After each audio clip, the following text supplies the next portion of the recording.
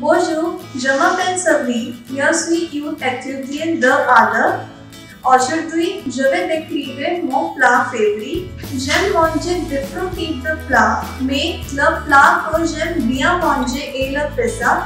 J'aime tous les italiens plats et en plus, pizza est aussi un plat italien.